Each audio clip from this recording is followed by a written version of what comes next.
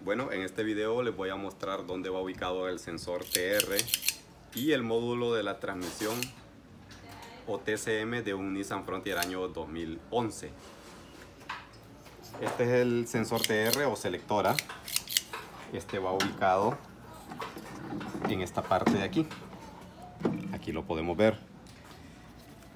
Y el módulo, el módulo de control de la transmisión o TCM es este que miramos aquí, ¿verdad? Este va sumergido en aceite.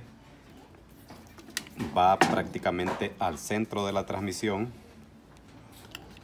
Aquí están los selenoides, aquí están los sensores. Este módulo muchas veces falla cuando hay exceso de temperatura en el aceite de la transmisión o cuando hay humedad, ¿verdad? Mayormente eh, las fallas que, que he logrado resolver ha sido porque hay exceso de temperatura en la transmisión. Eso es debido, al, debido a que el enfriador se obstruye y no logra enfriar lo suficiente el aceite.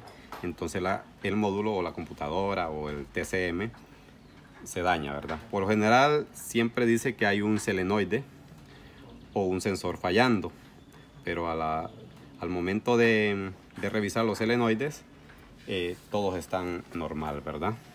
También se puede dañar porque un selenoide de estos entra en circuito, ¿verdad? Ahorita les voy a mostrar eh, cuál es el enfriador, el que falla bastante. La mayoría de veces que yo he cambiado TCMs es porque el enfriador está dañado. Ahorita les voy a mostrar eso. El enfriador que se obstruye en estos Nissan es este que va en la parte de aquí.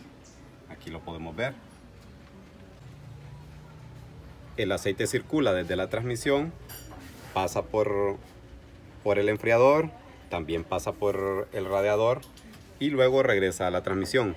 Cuando este enfriador se obstruye, entonces la temperatura de la transmisión va a aumentar y el TCM muchas veces se daña. Cuando cambiamos un TCM es importante revisar este enfriador que no esté obstruido porque si no a corto plazo el nuevo TCM también se va a dañar.